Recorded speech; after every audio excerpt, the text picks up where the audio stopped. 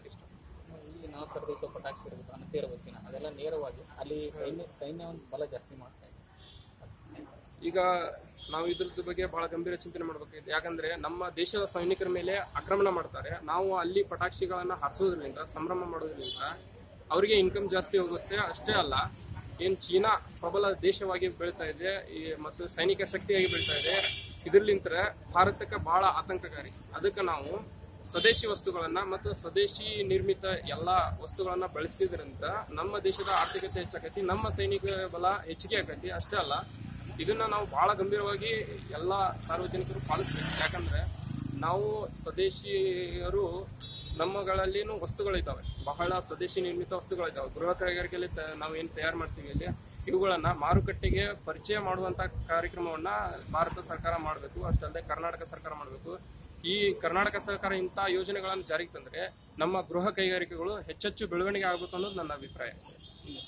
Manjunath ಕವಳಿ.